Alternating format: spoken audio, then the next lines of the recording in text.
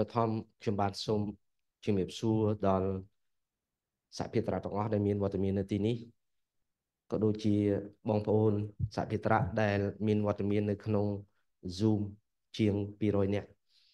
សូមថ្លែងអំណរគុណដល់ Get Pharma ដែលរៀបចំនៅកម្មវិធីជួបជុំគ្នាថ្ងៃនេះ ដែលជាការជួបជុំគ្នាខ្ញុំបានយល់ឃើញថាមានសារៈសំខាន់ពីព្រោះអឺ យើងដឹងហើយអ្នកជំងឺទឹកនោមផ្អែមនៅប្រទេសកម្ពុជាយើងកើនឡើងដូចតែនៅក្នុងប្រទេសនៅក្នុងតំបន់ក៏ដូចជាប្រទេសនៅលើទូទាំងនៅលើសកលលោកដែរដូច្នេះទេក្នុងនាមជាគ្រូពេទ្យទោះបីជាជំនាញអីក៏ដោយជួនកាលយើងអាចជួបអ្នកជំងឺទឹកនោមផ្អែមនៅក្នុងការអនុវត្តប្រចាំថ្ងៃរបស់យើងដូច្នេះទេយើងត្រូវតែខិតខំបង្កើននៅការយល់ដឹងចំណេះដឹងរបស់យើងដើម្បីជួយអ្នកជំងឺរបស់យើងក៏ព្រោះថា ជាគោលការណ៍របស់ក្រសួងសុខាភិបាល បានផ្ដោតទៅលើ ការប្រយុទ្ធប្រឆាំងនឹងជំងឺមិនឆ្លងនេះឯងសូម្បីតែនៅក្នុង ring tone ក៏យើងឃើញដែរពីព្រោះនៅពេលដែលស្រុកយើងកាន់តែមាន ភាពរីកចម្រើនសម្បូរសបាយជំងឺមិនឆ្លង គឺចូលមកដល់ដូច្នេះយើងត្រូវតែបង្កើននៅការយល់ដឹងរបស់យើងទាំងអស់គ្នា ដើម្បីឆ្លើយតបនឹងតម្រូវការរបស់ប្រជាពលរដ្ឋរបស់យើង ថ្ងៃនេះខ្ញុំពិតជាមានក្តីសំណោះរីករាយជាខ្លាំងដែល Gates Pharma រៀបចំនៅ CME ការជួបជុំគ្នានេះដោយមានការចូលរួមពីវាគ្មិនចំណានចំណានផ្នែកទឹកនោមផ្អែមក៏ដូចជាផ្នែកបេះដូង ហើយសង្ឃឹមថាចប់ពីការជួបជុំគ្នាថ្ងៃនេះ យើងអាចទាញជាប្រយោជន៍ដើម្បីបំរើវិស័យ សុខាភិបាលរបស់យើង ស្របតាមគោលនយោបាយរបស់ក្រសួង ស្របតាមនិយមរបស់ក្រសួង សុខាភិបាលស្របតាមនិយមរបស់គណៈគ្រូពេទ្យដែលយើងទាំងអស់គ្នាត្រូវតែអនុវត្តឲ្យបានខ្ជាប់ខ្ជួនខ្ញុំមិនចំណាយពេលយូរទេដោយទុកជូនវាគ្មិនជំនាញយើងថ្ងៃនេះ លោកវិជ្ជបណ្ឌិតយ៉ាតស៊ីឡុងក៏ដូចជាលោកវិជ្ជបណ្ឌិតរ៉ានីធ្វើបទបង្ហាញប៉ុន្តែខ្ញុំមាន slide ប្រហែលជា3 4 ដើម្បីចាប់ផ្ដើមនៅអង្គពិធីរបស់យើងបាទសូម slide បាញ់ថតលោកគ្រូ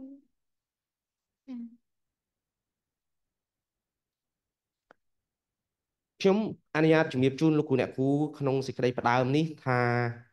អឺជំងឺទឹកនោមផ្អែម គឺមានច្រើនជំងឺទឹកនោមផ្អែមប្រភេទទី2ហើយមិនរំលឹកទេអា ចំនួនអ្នកជំងឺទឹកនោមផ្អែមនៅប្រទេសយើងមានការកើនឡើងដោយសារយើងកាន់តែសម្បូរសបាយរីកចម្រើនប្រទេសជាតិយើង មានសុខសន្តិភាព មានការរីកចម្រើនចឹងហើយបងប្អូនគាត់សបាយទួទានឆ្ងាញ់ភេសជ្ជៈអាហារគ្រប់ប្រភេទចឹងហើយចំនួននៃការកើនឡើងជំងឺទឹកនោមផ្អែមហ្នឹងវាកើនឡើងស្របពេលដែលអ្នកដែលលើសទម្ងន់ហ្នឹងក៏ច្រើនចឹងយើងឃើញថានៅក្នុងតំបន់ប្រទេសយើងក៏ដូចជាប្រទេស នៅក្នុងតំបន់ឥណ្ឌាឥណ្ឌូនេស៊ីសិង្ហបុរីវៀតណាមគេប៉ាន់ប្រមាណថាចំនួនអ្នកកើនឡើងនៃអ្នកដែលមានសាច់យើងមិននិយាយថាអ្នកធាត់ទេយើងថាអ្នកមានសាច់កើនឡើងច្រើនគួរឲ្យកត់សម្គាល់ប្រហែលខែមុននេះខ្ញុំបានមានឱកាសទៅទស្សនកិច្ចរោងចក្រផលិតអាំងស៊ូលីននៅប្រទេសអាល្លឺម៉ង់ហើយក៏មានពេលឆ្លៀតចូលទៅក្នុងម៉ាត បងប្អូនដឹងហើយ Victoria Secret រូបភាពខ្ញុំមានតែខ្ញុំអត់ដាក់មកខ្លាចបងប្អូនមានការយល់ច្រឡំ model នៅក្នុង Victoria Secret ឥឡូវហ្នឹងលែង slim ទៅហើយគេតាំងរូបអ្នកដែលមានសាច់ចឹងមានន័យថាតម្រូវការអ្នកមានសាច់ហ្នឹងច្រើនមានន័យថាការកើនឡើងទម្ងន់នេះឯងធ្វើឲ្យយើងយើងឃើញអញ្ចឹងហើយថាគេអ្នកធ្វើ business គេចាប់អារម្មណ៍ប៉ុន្តែយើងយើងឃើញថាអូប្រឈមមុខនឹងការកើនឡើងនៃ NCD ហើយប៉ុន្តែនៅក្នុងអាស៊ីយើង បច្ចៈសាជាថ្មីយើងមិនបាច់ចាំធាត់ពេកទេក៏យើងអាចប្រឈមមុខនឹងការកើតជំងឺទូលំផ្អែមដែរមានន័យថាយើងជាជនជាតិអាស៊ីអញ្ចឹងមិនបាច់ចាំធាត់ពេកទេអញ្ចឹងអ្នកដែលស្គមនឹងក៏កំទាន់សុបាយចិត្តអ្នកដែលធាត់នឹងក៏កំទាន់អមានន័យថាខ្មែរយើង BMI ចាប់ពី23ទៅដោយសារជនជាតិអាស៊ីយើងសម្បូរខ្លាញ់នៅក្នុងក្បាលពោះបើធៀបជាមួយនឹងជនជាតិអឺរ៉ុបអ្នក រកឃើញចំណោទនេះមុនគេគឺគាត់ពីរនាក់ហ្នឹងគាត់ឈ្មោះ Yasnik គាត់ឈ្មោះ Yaskin ពីរនាក់គ្នាគាត់ហ្នឹងមួយឥណ្ឌាមួយអឺអង់គ្លេស BMI គាត់ប៉ុនគ្នាប៉ុន្តែបើ decomposition គាត់យើងឃើញថាអ្នកដែលជាជនជាតិឥណ្ឌានោះ body composition ខ្លាញ់គាត់ច្រើនជាងនៅក្នុងក្បាលពោះចាប់ចេញពីចំណុចហ្នឹងហើយដែលគេហៅថា Wi-Fi paradox ហ្នឹងអឺគេរកឃើញថាជនជាតិអាស៊ីយើងមិនបាច់ ធាត់ពេកទេអាចប្រឈមមុខនឹងការកើតជំងឺទឹកនោមផ្អែមអញ្ចឹងទាមទារឲ្យមានការចាប់អារម្មណ៍មូលហេតុដែលយើងកើតជំងឺទឹកនោមផ្អែមច្រើននៅស្រុកយើងជួនកាលក៏តាក់ទងទៅនឹងការទទួលទានមិនត្រឹមត្រូវដែរច្រើនពេកក៏ប្រឈមមុខនឹងការកើតជំងឺទឹកនោមផ្អែមតិចពេកក៏អាចប្រឈមមុខនឹងការកើតជំងឺទឹកនោមផ្អែមដែរហេតុអីក៏យើងនិយាយពីរឿងតិចហើយកើតជំងឺទឹកនោមផ្អែមមាន ទ្រឹស្ដីមួយដែលហៅថា epigenetic of hunger លោកគ្រូអ្នកគ្រូប្រហែលជាមិនសូវឮគេនិយាយប៉ុន្តែគេទទួលស្គាល់កាន់តែច្រើនហើយមានន័យថានៅពេលដែលម្ដាយគាត់កំពុងតែមានផ្ទៃពោះគាត់ទទួលទានអត់គ្រប់ baby ដែលនៅក្នុងពោះនោះគាត់ develop ទៅជាស្ថានភាពមួយដែលគាត់ប្រឈមមុខនឹងការអត់ឃ្លានចំណីអាហារណា អញ្ចឹងដល់ពេលគាត់កើតមកប្រឈមមុខនឹងការសបោសបាយនៃការហូបចុក program នៅក្នុងខ្លួនគាត់វាបដូរអត់តាន់គាត់នឹងឯងទៅជាប្រឈមមុខនៅក្នុងការកើតជំងឺទឹកនោមផ្អែមអញ្ចឹង challenge របស់យើងក្រៅអំពីបញ្យលថាធ្វើម៉េចកុំហូបឲ្យលើសពេលដែលយើងធំពេញរូបពេញរាងប៉ុន្តែក៏យើងត្រូវ take care អ្នកដែលកំពុងតែមានផ្ទៃពោះពីព្រោះវត្តវានឹងទៅ នៅពេលដែលគាត់ zen គាត់ទៅជាទឹកនោមផ្អែមអញ្ចឹងថ្ងៃក្រោយទៅកូនចៅគាត់តទៅទៀត កើតទៅជាជំងឺទឹកនោមផ្អែមសរុបមកវិញ early life under nutrition គឺអាច affect ទៅលើការកើតជំងឺទឹកនោមផ្អែមនាពេលអនាគតសម្រាប់អ្នកដែលមាន under nutrition ក្នុងពេលដែលគាត់នៅក្នុងពោះម្ដាយខ្ញុំមិនចំណាយពេលយូរទេលោកចាក់ដិតចាត់ស៊ីឡុងនឹងធ្វើបទបង្ហាញរបស់គាត់ថាយន្តការដែលកើតជំងឺទឹកនោមផ្អែមប្រភេទទី2នឹងមានច្រើនមាន8ចំណុចប៉ុន្តែ ថ្នាំដែលគេរកឃើញថ្មីថ្មីច្រើនក៏ដោយចេញមកបន្តបន្ទាប់តាំងពីទសវត្សរ៍ទី ឆ្នាំ1950មកទល់ឥឡូវមានថ្នាំថ្មីជាច្រើនចេញមកប៉ុន្តែបើលោកគ្រូអ្នកគ្រូសម្គាល់មើល molecule ដែលដាក់នឹងនៅក្នុងប្រអប់អត់មាន molecule ណាមួយអាចឆ្លើយតបទៅនឹង physiopathology ទាំង8ចំណុចទេ molecule ខ្លះបាន4ចំណុច molecule ខ្លះបាន1ចំណុច molecule ខ្លះបាន2ចំណុចលក្ខនឹងលក្ខ យើងដឹងទាំងអស់គ្នាថាការព្យាបាលត្រូវផ្ដោតទៅលើ mechanism របស់ physiopathology ចឹងទេយើង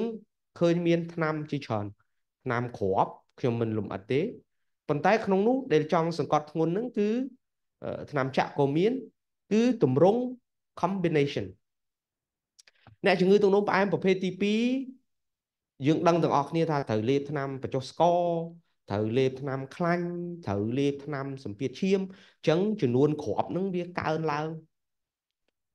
ថ្នាំលើឈាមមួយមុខពីរមុខថ្នាំខ្លាញ់ស្រួលទេអាចថាមួយមុខឬក៏ពីរមុខកម្រាស់ដល់3មុខអញ្ចឹងវាពីរគ្រាប់3គ្រាប់ថ្នាំទឹកនោមផ្អែមជួនកាលមួយមុខជួនកាលពីរមុខ3មុខអញ្ចឹងហើយបានជាយើងត្រូវពិចារណានៅក្នុងការធ្វើ ការកាត់បន្ថយចំនួនគ្រាប់សម្រាប់អ្នកជំងឺរបស់យើងបើមិនចឹងទេព្រលឹមឡើង10គ្រាប់ល្ងាចឡើង5គ្រាប់ចឹងច្រើនចឹងគេអាចមានទម្រង់ជា fixed combination ហើយ fixed combination នេះគឺជា originator ដើម្បីចេញជា fixed combination pharma មួយចំនួនគាត់ចេះតែយកមកបូកបញ្ចូលបូកបញ្ចូលគ្នាបាទប៉ុន្តែគោលការណ៍របស់យើង គឺយើងត្រូវគោរពតាម originator អញ្ចឹងយើងអាចមាន DPP4 បូកជាមួយ SGLT2 metformin metformin glycine metformin SGLT2 metformin sulfonylurea metformin jazolidinone jazolidinone DPP4 jazolidinone sulfonylurea គឺជា originator មានន័យថាគេបានសិក្សាពី safety របស់ combination ហ្នឹងពីព្រោះបើយើងមិនគិតពីរឿង safety ហ្នឹងទេ pharmaceutical company គាត់គិត គាត់ចាប់ដាក់ទៅ3 4ចូលគ្នាទៅអញ្ចឹងតាមខ្ញុំដឹង regulation របស់ MOH យើងតែអត់មាន originator มันអាចចេញ license ឲ្យទេដូច្នេះការដែលមាន combination លោកគ្រូអ្នកគ្រូល្អតិចគ្រាប់សម្រាប់អ្នកជំងឺប៉ុន្តែសូមមេត្តាសួរថាតើមាន originator អត់បើមិនចឹងទេ pharma គាត់ចេះតែធ្វើកុកតៃធ្វើ cocktail បាទ4 5មុខចូលគ្នាលើហើយអញ្ចឹង យើងត្រូវមើល originator ហ្នឹងថ្ងៃនេះយើងនឹងបដោតទៅលើ combination SGLT2 ជាមួយនឹង DPP4 Empalina បាទចឹងថ្នាំចាក់ក៏មាន combination ដែរបូកចូលគ្នាប៉ុន្តែ Lexi បូកជាមួយនឹង Galaxin នោះឮថាផ្អាកផលិតហើយចឹងទេយើងត្រូវតាមឲ្យទាន់សំខាន់គឺ originator នៅប្រទេសយើងលឿនដែរយើងមានទាំងអស់សពគ្រប់ នៅឡើយតែយើងជា healthcare provider ទេ ដែលត្រូវស្គាល់ពី molecule នីមួយៗដឹងពី mechanism របស់វា ដឹងពី safety របស់វា ដឹងពី benefits របស់វាពីព្រោះយើងព្យាបាលអ្នកជំងឺទូនឹងបែបយើងអត់ព្យាបាលតែ score ទេយើងត្រូវធ្វើឲ្យគាត់រស់នៅជាមួយជំងឺហ្នឹងបានយូរអង្វែងប្រកបដោយផាសុខភាពយើងអត់គិតតែពីរឿង score ទេអញ្ចឹងការឲ្យថ្នាំហ្នឹងយើងត្រូវគិតពី molecule ថាជូនទៅ score ចុះ ហើយការពារសរីរាង្គខាងក្នុងទៀតជាពិសេសបេះដូងនិងតម្រងនោមអញ្ចឹងយើងមានសពគ្រប់ហើយអឺនៅឡើយតែការធ្វើ combination ចូលគ្នា ទៅជារូបមន្តមួយដែល the best សម្រាប់ individual ម្នាក់ម្នាក់ដែលគេហៅថា patient care center ដែលគេហៅថា patient care center ជាបទពិសោធន៍ផ្ទាល់ខ្លួន នៅពេលដែលលោកគ្រូ start ឆ្នាំ យើងអាច start ពី molecule ដែល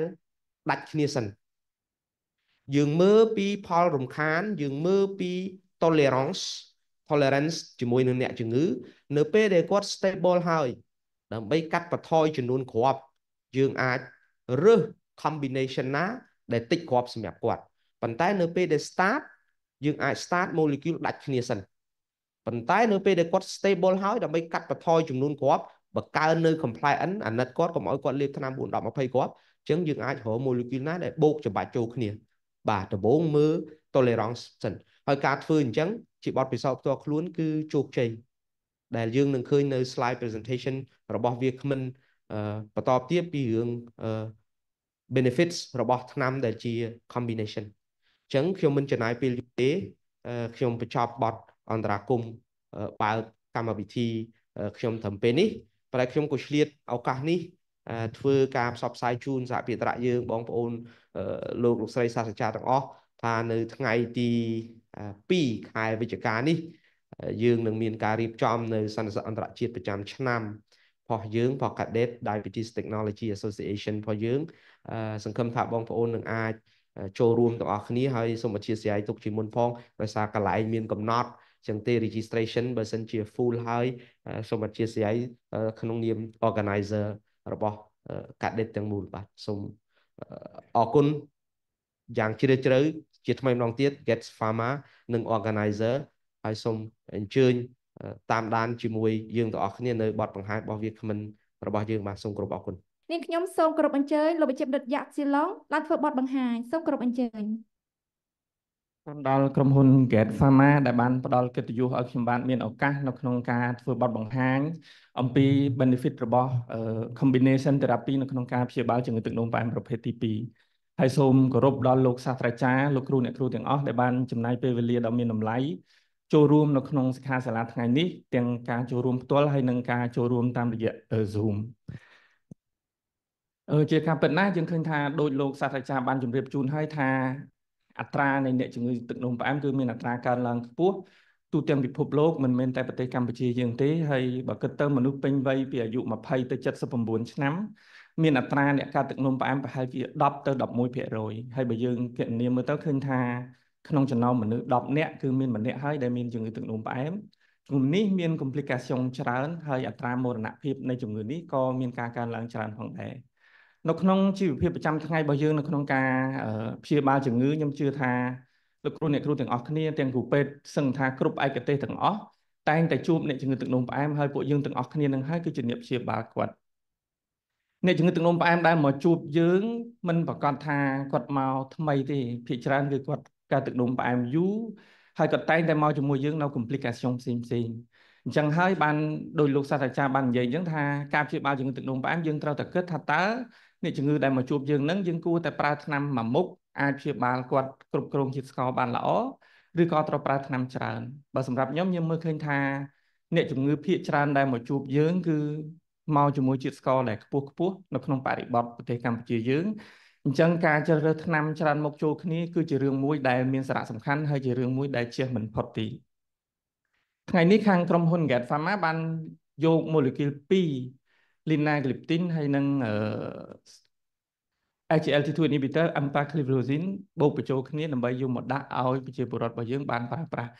គិតថាវាជារឿងមួយដែលល្អពីព្រោះថាក្រុមថ្នាំទាំងអស់នេះសិតតែមានការសិក្សាស្រាវជ្រាវបង្ហាញអំពីប្រសិទ្ធភាពក៏ដូចជា safety cardiovascular នៅក្នុងការប្រើប្រាស់អញ្ចឹងថ្ងៃនេះដែរខ្ញុំនឹងលើកមកបង្ហាញលម្អិតអំពី molecule មួយមួយ SGLT2 inhibitor DPP4 inhibitor ហើយនឹងលើកមកនិយាយអំពីសារៈប្រយោជន៍ខ្លះខ្លះនិយាយអំពីការព្យាបាលដោយការប្រើប្រាស់ថ្នាំបូកបញ្ចូលគ្នាបានមុននឹងយើងនិយាយអំពីថ្នាំមួយមួយខ្ញុំសូមលើកឡើងវិញបន្តិចថាជំងឺទឹកនោមផ្អែមរបស់យើងមូលហេតុដែលធ្វើឲ្យមានការកើនឡើងជាតិស្ករដោយលោកសាស្ត្រាចារ្យបានជម្រាបខ្លះខ្លះមិញហើយថាវាមានរឿងច្រើន មានដល់ទៅ7 8មុខ ដែលអ្នកធ្វើឲ្យជាតិស្កររបស់យើងនឹងមានការកើនឡើង ទី1គឺតកតងជាមួយនឹងលំពេងរបស់យើង ការកើនឡើងនៃការបញ្ចេញក្លូកាកុងការថយអាំងស៊ូលីនគឺជាមូលហេតុដ៏ចម្បងនៅក្នុងការធ្វើឲ្យមានជាតិស្ករកើនឡើងការថយចុះនៅ effect របស់ incretin ដែលបញ្ចេញពីអឺអាំងតេស្តាំងក៏ជាមូលហេតុចម្បងមួយដែរការកើនឡើងនៅ lipolyse ការកើនឡើងនៃការស្រូបជាតិស្ករពីតម្រងនោមចូលមកក្នុងសរសៃឈាមក៏ជាមូលហេតុដែលសំខាន់ដែលថ្ងៃនេះយើងក៏នឹងនិយាយអំពី action របស់ក្រុមថ្នាំ SGLT2 inhibitor ដែល action របស់វាគឺនៅលើតម្រងនោមនឹងតែម្ដងការកើនឡើងការចាប់យកជាតិស្ករទៅក្នុងសាច់ដុំដើម្បីយកទៅប្រើប្រាស់វិបត្តិនៃ neurotransmitter របស់ខួរក្បាល ការកើនឡើងការបញ្ចេញជាតិស្ករ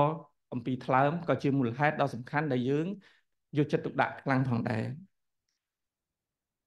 បើយើងមើលអំពី mechanism បើយើងនិយាយអំពី mechanism នៃថ្នាំដែលយើងយកមកធ្វើការព្យាបាលគេមានការបែងចែកជាពីររឿងធំធំ ទីមួយគឺថ្នាំដែលមាន action ដែលពាក់ព័ន្ធទៅនឹង insulin ដែលនៅក្នុងនោះយើងឃើញថាក្រុមថ្នាំដែលមានគេហៅថា insulino sensibilizer យើងមានក្រុម biganid metformin ហើយនិង chazolidinone ពពួកក្រុមថ្នាំដែលមាន action គេហៅថា insulin secretagogue ដែលនៅក្នុងនោះយើងមាន glinid យើងមាន sulfonylurea យើងមាន GLP-1 receptor agonist យើងមាន DPP4 inhibitor ហើយនឹងក្រុមថ្នាំថ្មីមួយទៀតដែលមានសារៈប្រយោជន៍ដែល action របស់វាគឺមិនពាក់ព័ន្ធទៅនឹង insulin ទេ insulin resistant ក៏មិនពាក់ព័ន្ធការថយចុះ insulin ក៏មិនពាក់ព័ន្ធគឺពពួកក្រុម SGLT2 inhibitor យើងនឹងចាប់ផ្ដើមលម្អិតអំពីថាតើស្អីទៅ SGLT2 inhibitor បើយើងនិយាយអំពី mechanism physiopathology SGLT2 SGLT សំទោស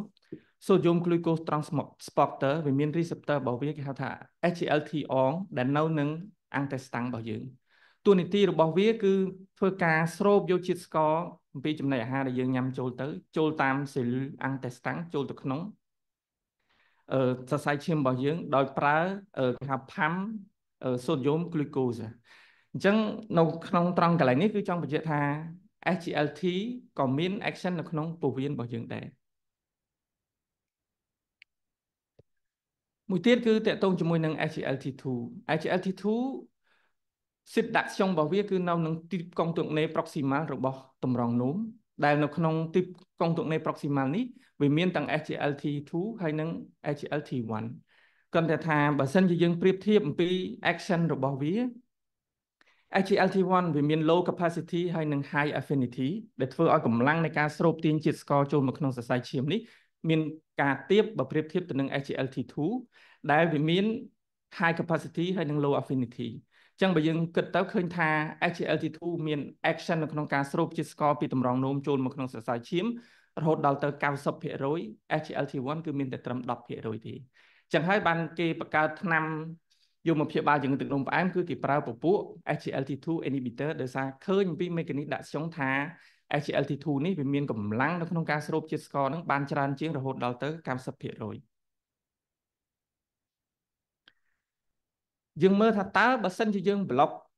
SGLT នឹងថាតើមានអីកើតឡើង នៅក្នុងនៅក្នុងរូបនេះ បង្ហាញអំពី graphic របស់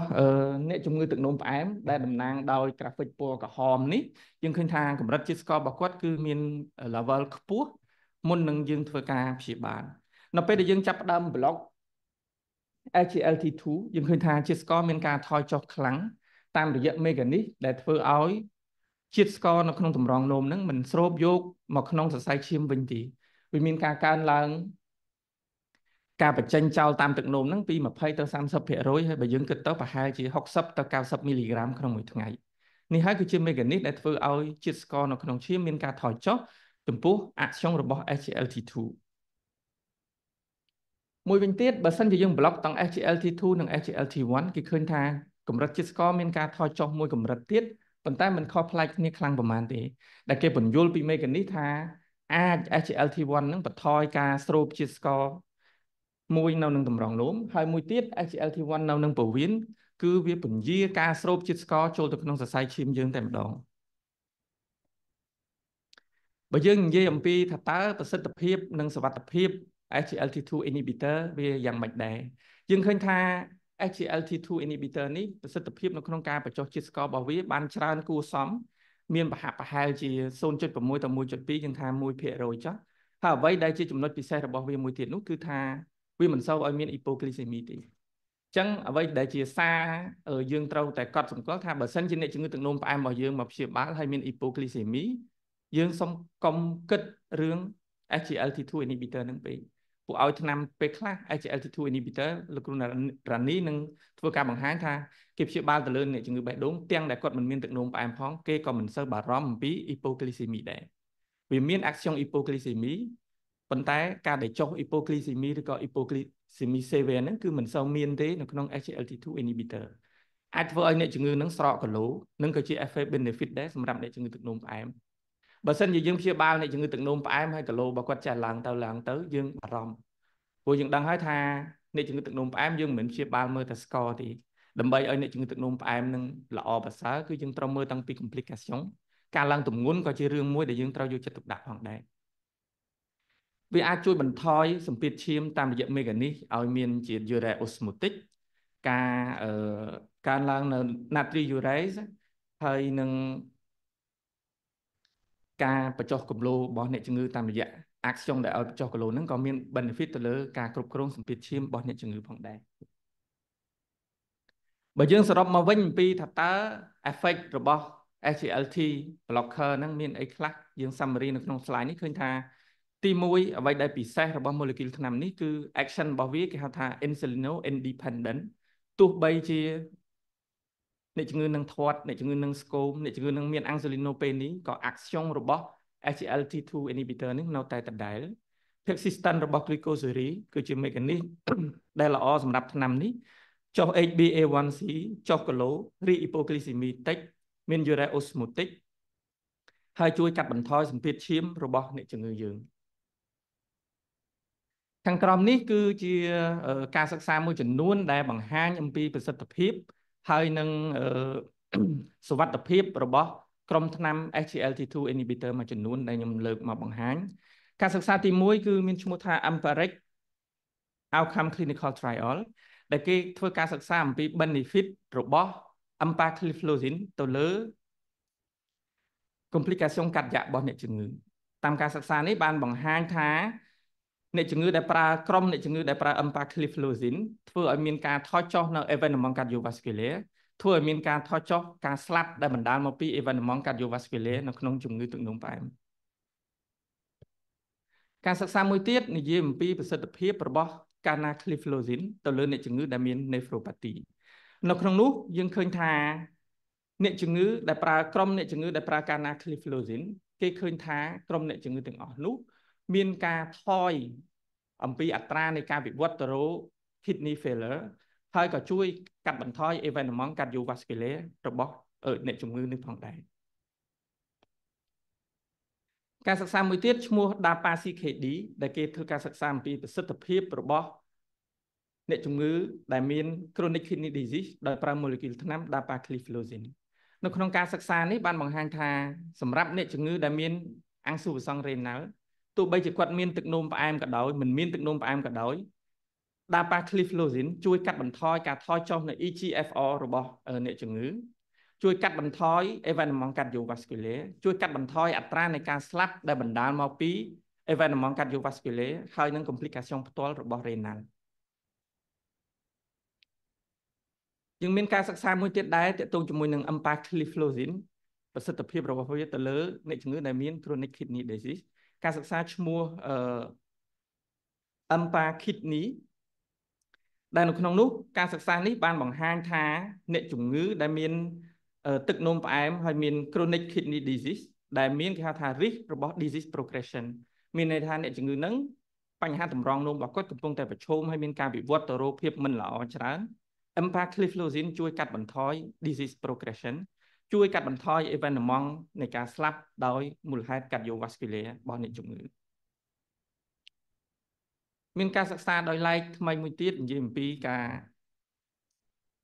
ប្រសិទ្ធភាពរបស់ empagliflozin ហើយនិង dapagliflozin ការសិក្សាមួយឈ្មោះ Emperor Reduce ដែលគេបានបង្ហាញថា empagliflozin បានជួយកាត់បន្ថយ all cause mortality ជួយកាត់បន្ថយ risk របស់ heart failure ជួយកាត់បន្ថយ frequency នៃអ្នកជំងឺដែលមាន heart failure ដែលមាន decompensation ដែលត្រូវ visit urgent ការសិក្សាមួយទៀត DAPA HF ដែលបានបង្ហាញថា dapagliflozin ជួយកាត់បន្ថយ CVD heart failure ជួយកាត់បន្ថយអ្នកជំងឺនៅក្នុងការ decompensation កាត់យ៉ាដែលត្រូវចូលអៀបសង្ឃជួយកាត់បន្ថយគេហៅថា intensify treatment ទៅលើអ្នកជំងឺដែលមានអាំងស៊ូសង្កាត់យ៉ានេះគឺជាសារៈប្រយោជន៍របស់ក្រុមថ្នាំ SGLT2 inhibitor នៅក្នុងការព្យាបាលដែលមាន evidence និងមានការសិក្សា support ត្រឹមត្រូវអញ្ចឹងបើយើងសង្ខេបមកវិញថាតើ SGLT2 inhibitor នេះវាមានសារៈប្រយោជន៍បែបណាទៅលើបេះដូងហើយនិងតម្រងនោមដែលធ្វើឲ្យយើងគិតថាវាមាន ផលប្រយោជន៍ជួយហ្នឹងអញ្ចឹងបើយើងមើលឃើញថាផ្នែកខាងបេះដូង SGLT2 inhibitor ជួយឲ្យបន្ថយគីឡូបន្ថយសម្ពាធឈាមបន្ថយ plasma volume របស់អ្នកជំងឺ ធ្វើឲ្យ arterial stiffness នៅពេលដែល volume ថយចុះអាការក្រិនរឹងរបស់សរសៃឈាមរបស់យើងក៏មានល្អភាពល្អប្រសើរដែរបង្កើនកេតូនបន្ថយសូដ្យូមហើយនិង hydrogen exchanger បន្ថយអាស៊ីតអ៊ុយរិកបង្កើនគ្លីកាកុងហើយនិងអង់ស៊ីអូតង់ស៊ីនអងហើយនិងសេតតកតងនឹងតម្រងនោមយើងឃើញថា effect របស់ SGLT2 inhibitor ជួយកាត់បន្ថយគេហៅថា tuberoculaminal feedback បន្ថយ pression អង្ត្រាក្លូមីនូលែបន្ថយ EPA filtration បន្ថយ inflammation ហើយនិងបន្ថយ oxidative stress ដែលមាននៅលើតម្រងនោមបើយើងគិតពី molecule របស់ SGLT2 inhibitor គឺយើងមានច្រើនប៉ុន្តែអ្វីដែលយើងឃើញមានចរាចរណ៍លក់នៅទីផ្សារប្រទេសកម្ពុជាគឺមានក្រុមថ្នាំពីរមុខមាន dapagliflozin ហើយនិង empagliflozin ចឹងយើងចប់អំពី molecule inhibitor SGLT2 ខ្ញុំនឹងនិយាយសង្ខេបខ្លីអំពី molecule ថ្នាំមួយទៀតគឺពពួកក្រុម DPP4 inhibitor មុននឹងយើងចូលទៅលើថ្នាំនេះខ្ញុំសូមបើកវងកញ្ចក់បន្តិចអំពី mechanism physiopathology របស់ DPP4 inhibitor យើងឃើញថានៅពេលដែលយើងញ៉ាំចំណីអាហារចូលមកក្នុងខ្លួនចំណីអាហារត្រូវបានផ្ញូចទៅលើពោះវៀនឲ្យបញ្ចេញអង់ស៊ីមម្យ៉ាងគេហៅថា incretin ដែលយើងស្គាល់ថាវាជា GLP-1 ហើយនិង GIP តួនាទីរបស់ GLP-1 ហើយនិង GIP នេះមានតួនាទីយ៉ាងសំខាន់នៅក្នុងការផ្ញូចទៅលំពេងឲ្យវាបង្កើនការបញ្ចេញអ៊ីនស៊ូលីនដែលអ៊ីនស៊ូលីននេះធ្វើឲ្យមានការចាប់យកជាតិស្ករទៅប្រើប្រាស់នៅក្នុងសាច់ដុំហើយនិងទីស៊ុយអាឌីពើជួយបន្ថយវាផ្ញូចទៅលើ cellule alpha ដើម្បីបន្ថយការបញ្ចេញរបស់ glucagon ហើយ glucagon នេះកាលណាតែវាមានកម្រិតទាបវាធ្វើឲ្យ production hepatic របស់ glucose មានការថយចុះដែរអញ្ចឹងវាជាមេកានិសដែលធ្វើឲ្យយើងអាចមានលំនឹងជាតិស្ករនៅក្នុងឈាមប៉ុន្តែ GLP-1 GIP នេះនៅក្នុងឈាមយើងមិនបានយូរទេដោយសារតែមានអង់ស៊ីមម្យ៉ាងឈ្មោះថា DPP4 dipeptidyl peptida 4នេះគឺមានតួនាទីយ៉ាងសំខាន់នៅក្នុងការកាត់ផ្ដាច់ GLP-1 និង GIP នេះទៅជា molecule មួយដែល inactive ដែលមិនមានប្រសិទ្ធភាពនៅក្នុងការផ្ញូចទៅលើលំពេងទេ ចឹងដោយយល់អំពីមេកានិសដាក់ខ្យងនឹងហើយបានគេបង្កើតជាថ្នាំរបស់យើងគឺវាទៅ block អង់ស៊ីម DPP4 អង់ស៊ីម DPP4 ហ្នឹងដែលក្រុមថ្នាំរបស់យើងគឺឈ្មោះ DPP4 inhibitor ចឹងកាលណាយើង block DPP4 នឹងបានអខ្យងរបស់ GLP-1 និង GIP ក៏មានភាពល្អប្រសើរផងដែរបើយើងនិយាយអំពីក្រុម DPP4 inhibitor យើងមានក្រុមថ្នាំច្រើនយើងមាន linagliptin allogliptin sasagliptin sitagliptin ហើយនិង vildagliptin ក្រុមថ្នាំទាំងអស់នេះអាចបញ្ចុះជាតិស្ករមិនបានច្រើនដល់1%ទេអាចថាប្រហាក់ប្រហែលគឺប្រហាក់ប្រហែលគ្នាទេ អាចត្រឹម0.7ជាងទៅ0.8បើយើងនិយាយអំពី molecule ថ្នាំយើងតែងតែនិយាយអំពីថាតើថ្នាំរបស់យើងហ្នឹងវាមានសវត្ថភាពទេ ទៅលើតម្រងនោមមានសវត្ថភាពទេទៅលើបេះដូង មានអត្ថប្រយោជន៍ទេដូចដែលយើងនិយាយអំពី SGLT2 inhibitor ដែរនៅក្នុងក្រុមថ្នាំ DPP4 inhibitor ក៏មានការសិក្សាអំពីប្រសិទ្ធភាពហើយនិង benefit របស់វាទៅលើ cardiovascular ដែរប៉ុន្តែនៅក្នុង DPP4 inhibitor ទាំងអស់ដែលមាន study support ឃើញថាវាមិនមាន effect benefit អីជួយដល់បេះដូងជួយដល់តម្រងនោមដូច SGLT2 inhibitor ទេប៉ុន្តែអ្វីដែលសំខាន់ដែលយើងដឹងអំពីការសិក្សានេះគឺការសិក្សាបានបង្ហាញថា ក្រុម molecule ថ្នាំ DPP4 inhibitor វាមាន safety profile មានន័យថាវាមានសុវត្ថិភាពនៅក្នុងការប្រើទៅលើអ្នកជំងឺដែលមានបញ្ហាបេះដូងទៅលើអ្នកជំងឺដែលមានបញ្ហាតម្រងនោមគ្រាន់តែប៉ុណ្ណេះក៏ជាគុណសម្បត្តិមួយដ៏ធំរបស់ក្រុមថ្នាំយើងដែរបើយើងនិយាយអំពីថ្នាំយើងតែងតែគិតទៅថាថ្នាំនេះប្រើទៅខ្សោយតម្រងនោមប្រើបានឬអត់អញ្ចឹងបើយើងក៏លេខមកមើល excretion renal របស់ក្រុម DPP4 inhibitor ភាគច្រើន sitagliptin ក្តី vilda ក្តី sasa ឬក៏ alo ក្តី excretion renal គឺមានកម្រិតខ្ពស់ចន្លោះពី75ទៅ85%អញ្ចឹងក្រុមថ្នាំដែលមាន excretion renal ខ្ពស់បើសិនជាយើងមានអង្គសុបសង្ឃ renal គឺដាច់ខាតត្រូវតែមាន adjustment dose ដោយឡែកក្រុម linagliptin គឺជាប្រភេទថ្នាំមួយដែលពិសេសដែល excretion renal របស់វាមានប្រហាក់ប្រហែលនឹង5%ទេ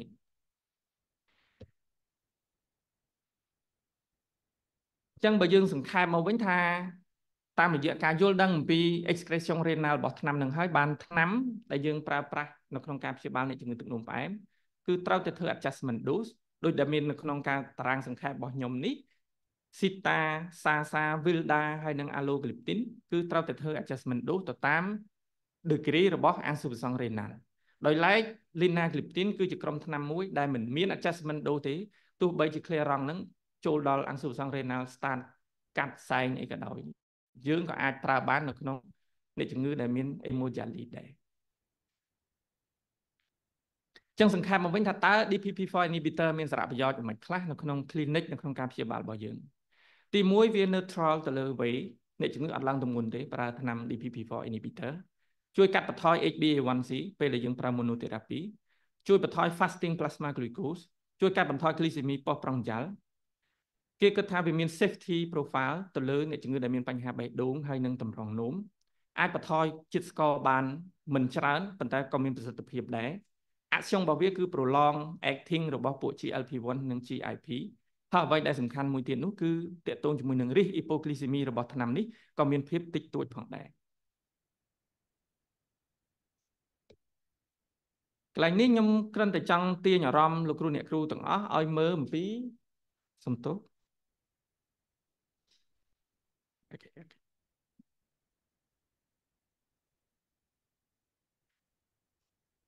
ខាងក្រោមនេះគឺជាតារាងសង្ខេបពីក្រុមថ្នាំផ្សេងផ្សេងដែលយើងយកមកព្យាបាលជំងឺទឹកនោមផ្អែមប៉ុន្តែយើងត្រូវដឹងថានៅពេលដែលយើងរើសថ្នាំមួយយកមកព្យាបាលជំងឺទឹកនោមផ្អែមយើងត្រូវដឹងពីប្រសិទ្ធភាពរបស់វាថាតើថ្នាំរបស់យើងមួយមុខនឹងអាចបញ្ចុះ HbA1c បានប្រមាណបញ្ចុះជាតិស្កររបស់យើងបានប្រមាណក្រុមថ្នាំដែលអាចបញ្ចុះជាតិស្ករបានច្រើនយើងមានពពួក biganit ពួក metformin sulfonylurea ហើយនិង chazolidinone ក្រុមថ្នាំផ្សេងទៀត DPP4 inhibitor SGLT2 inhibitor GLP1 receptor agonist ចុះ HbA1c បានហាក់ប្រហែលតែត្រឹម1%ទេកន្លែងនេះគឺចង់ទាញអារម្មណ៍ថានៅពេលដែលអ្នកជំងឺចូលមកជួបយើងយើងត្រូវគិតឲ្យហើយថាតើអ្នកជំងឺរបស់យើងនឹងថ្នាំផែលជាមួយមុខទប់រួចទេឬក៏ត្រូវពីរមុខឬក៏ត្រូវបីមុខកន្លែងនេះគឺជារឿងដែលសំខាន់ យ៉ាងណាក៏ដោយយើងមិនភ្លេចទេថាមុននឹងយើងនិយាយថាឆ្នាំមួយមុខពីរមុខទៅរួចមិនរួចអ្នកជំងឺទាំងអស់គឺត្រូវតែទទួលបានការអប់រំទី1តាក់ទងជាមួយនឹងចំណីអាហារទី2តាក់ទងនឹង exercise មានន័យថាយើងឲ្យអ្នកជំងឺរបស់យើងហ្នឹងប្រតិបត្តិតាមគោលការណ៍អប់រំវិទ្យាសាស្ត្រថាតើគាត់ហាត់ប្រាណបានគ្រប់គ្រាន់ទេរបបអាហាររបស់គាត់ធ្វើបានត្រឹមត្រូវទេហើយយើងមើលអំពី profile glycemic របស់យើងហើយយើងដឹងថាថ្នាំរបស់យើងមួយមួយអាចបញ្ចុះជាតិស្ករបានប្រមាណភាគរយ ខាងក្រោមនេះគឺជា4ចំណុចដែលយើងត្រូវតែគិតពេលអ្នកជំងឺមកជួបយើងថាតើយើងមើលយើងក្រំប្រមាលមើលថាអ្នកជំងឺរបស់យើងគួរតែប្រើថ្នាំ2មុខ3មុខឬក៏1មុខអញ្ចឹងកត្តាដែលចូលរួមឲ្យយើងធ្វើការសម្រេចចិត្តថាតើគួរតែថ្នាំមួយមុខឬក៏ពីរមុខហ្នឹងគឺទី1មាន HbA1c បើសិនជា HbA1c អ្នកជំងឺមកជួបយើងកាន់តែខ្ពស់ជាពិសេសគឺធំជាង7.5%ចឹងភាគរយដែលយើងប្រើថ្នាំច្រើនមុខបញ្ចូលគ្នាគឺប្រកាសជាខ្ពស់ទី2អាយុរបស់គាត់ បើជាស៊ុយសេក្មេងដែលកើតទឹកនោមផ្អែមគាត់ប្រហែលជា active គាត់ប្រហែលជាអឺ diet ហើយនឹង exercise របស់គាត់ល្អអញ្ចឹងមិនសូវប្រើថ្នាំច្រើនទេយើងគិតថាកាន់តែក្មេងថ្នាំកាន់តែតិចតែបើគាត់ចាស់ហើយយើងគិតទៅរោថ្នាំច្រើនទៅហើយទៅទីទី3គឺ BMI របស់គាត់អ្នកជំងឺកាន់តែធាត់តម្រូវការថ្នាំក៏កាន់តែច្រើនដែរ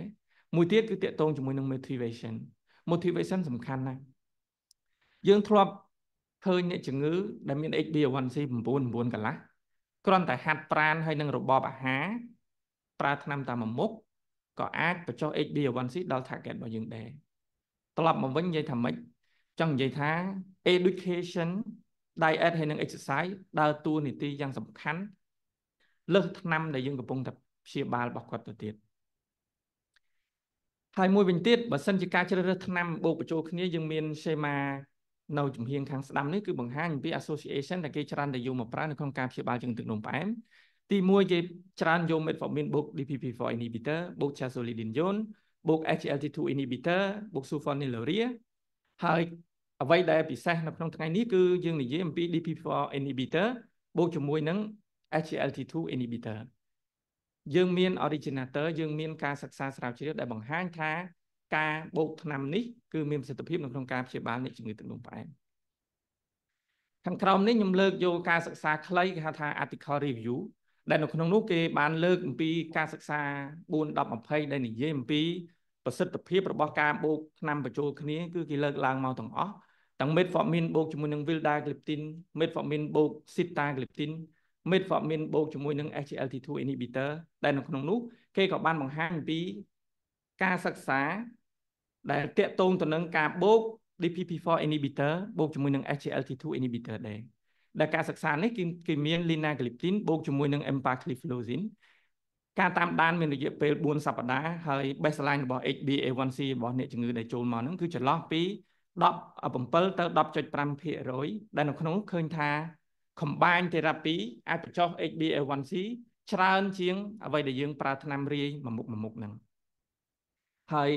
នៅចុងបញ្ចប់នៃការសិក្សាឃើញថាអ្នកជំងឺដែលប្រើថ្នាំពីរមុខបញ្ចូលគ្នាគេទទួលបាន HbA1c ជាមធ្យមគឺ6.9%ចឹងត្រឡប់មកវិញជាសង្ខេបថាជំងឺទឹកនោមផ្អែមច្បាស់ណាស់ថាវាមានកត្តាជាច្រើនចូលរួម គឺជាផ្នែកមួយដ៏ស្មុគស្មាញដែលមិនមែនការព្យាបាលបញ្ចុះជាតិស្ករតាមមុខហ្នឹងអាចឲ្យអ្នកជំងឺរបស់យើងរស់រានមានជីវិតយូរសុខភាពល្អទេ អញ្ចឹងយើងត្រូវការមានការចូលរួមពីក្រុមគ្រូពេទ្យជំនាញ multidisciplinary approach មួយវិញទៀតអ្នកជំងឺទឹកនោមផ្អែមដែលមកជួបយើងភាគច្រើនគឺអាចមកជាមួយ complication ដែរ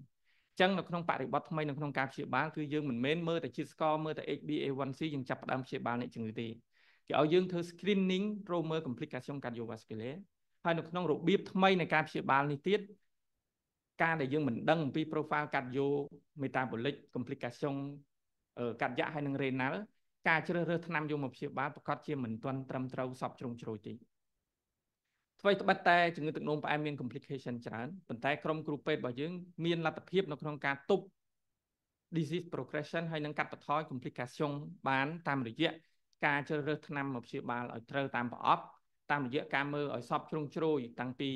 សម្ពាធឈាមតាំងពីជាតិខ្លាញ់តាំងពី complication screening ហើយនឹង management លក្ខនឹងលក្ខ មួយវិញទៀតមាន guideline ជាច្រើនបាន support ទៅលើប្រសិទ្ធភាពរបស់ inhibitor SGLT2 ថាថ្នាំនេះក្រៅអំពីការបញ្ចុះជាតិស្ករក៏មាន benefit គេហៅថា organ protection ជាពិសេសទៅលើបេះដូងនិងតម្រងនោមពួក linagliptin គឺជាថ្នាំ DPP4 inhibitor មួយដែលយើងគិតថា មានភាពល្អប្រសើរទី1មាន cardiometabolic safety មាន renal safety ហើយមិនមាន adjustment dose នៅក្នុងអង្គសុវសង្ឃ renal អញ្ចឹងក៏ជាក្រុមថ្នាំមួយដែលយើងគិតថាល្អដែរនៅក្នុងការព្យាបាលជំងឺទឹកនោមផ្អែមប្រភេទទី2មួយវិញទៀតដោយដែលបានជម្រាបជូនពីខាងដើមហើយថាអ្នកជំងឺដែលមកជួបយើងភាគច្រើន ការប្រើប្រាស់ថ្នាំច្រើនមុខចូលគ្នាគឺជារឿងមួយដែលជៀសមិនផុតទេអញ្ចឹងការបូកថ្នាំបញ្ចូលគ្នាមាន empagliflozin បូកជាមួយនឹង linagliptin នេះគឺជាជំរើសមួយដែលយើងគិតថាល្អដែលគេ prove ថា វាមាន benefit cardiovascular ហើយមាន safety ទៅលើ profile cardio ហើយនិង renal បាទសូមអរគុណសម្រាប់ការតាមដានครับថ្ងៃនេះខ្ញុំសូមថ្លែងអំណរគុណដល់លោកវិជ្ជបណ្ឌិតយ៉ាត់ស៊ីឡុងដែលបានធ្វើបទបង្ហាញយ៉ាងក្បោះក្បាយមុននឹងឈានចូលប្រធានបទទី2ស្ដីអំពី Management of Heart Failure in Type 2 Diabetes Patient នាងខ្ញុំសូមជម្រាបជូននៅជីវប្រវត្តិរូបសង្ខេបរបស់លោកវិជ្ជបណ្ឌិតសានសំរានី ចានៅឆ្នាំ2016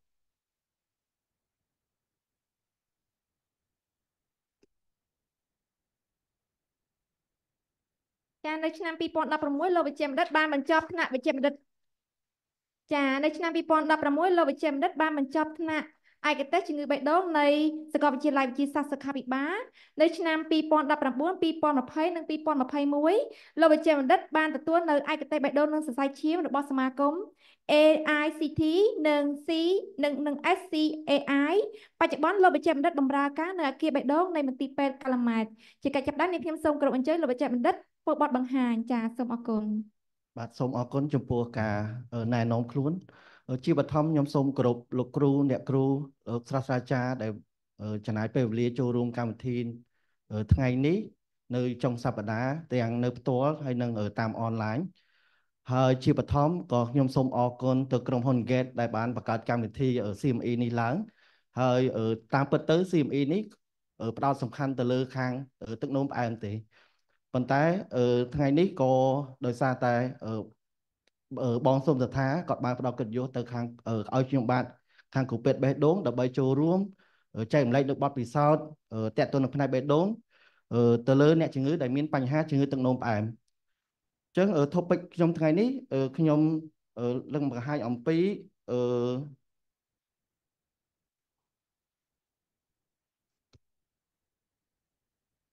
ខ្ញុំនឹងបាត់បង្ហាញអំពី heart failure នៅក្នុងអ្នកជំងឺដែលមានជំងឺទឹកនោមផ្អែមប្រភេទ2អឺយើងប្រហែលជាឆ្ងល់ថាហេតុអីបានគ្រូពេទ្យបេះដូងត្រូវតែនិយាយនៅក្នុងបញ្ហារឿងជំងឺទឹកនោមផ្អែមដោយដែលសាស្ត្រាចារ្យសុនថាគាត់មានប្រសាសន៍កាពេលបើកម្មវិធីអញ្ចឹងដោយសារតែពេលបច្ចុប្បន្នក្រោមលុបសន្តិភាពប្រទេសយើងរីកចម្រើន